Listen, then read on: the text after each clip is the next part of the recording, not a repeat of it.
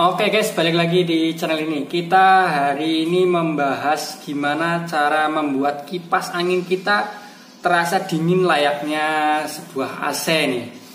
Jadi bagi teman-teman yang hanya mempunyai kipas angin tapi ingin merasakan sensasi dinginnya AC, eh, baik kita akan bahas.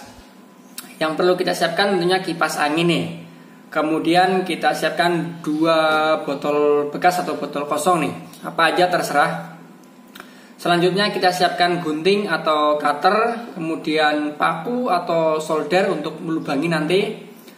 Kemudian pastinya kita siapkan es batu untuk e, merasakan sensasi dinginnya. Nah, kita potong seperti ini dua-duanya. Kemudian kita lubangi botol ini. Kita bisa lubangin pakai paku tapi lebih mudah kita gunakan solder ya. Jadi kita tinggal tusuk-tusuk uh, seperti ini kita lubangi.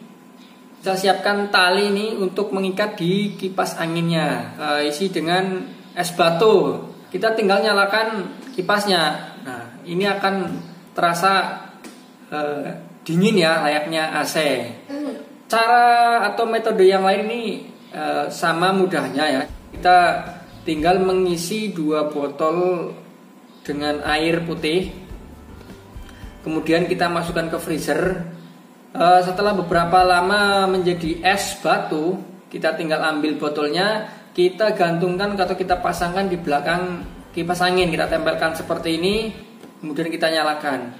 Nah, ini sama aja dinginnya ya. Jadi tanpa kita harus beli yang mahal jadi ide-ide sederhana ini pun uh, sangat berguna ya teman-teman. Selamat mencoba selamat merasakan dinginnya AC